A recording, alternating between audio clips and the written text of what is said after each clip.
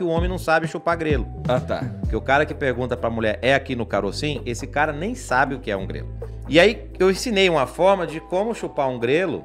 Se não tiver cabeceira, melhor ainda, que ela encosta as costas na parede gelada, o bico do peito fica duro na hora. Vai, uh, parece que ela tá com tesão de verdade. Aí você vem com a língua na ponta do grelo, aqui assim, ó.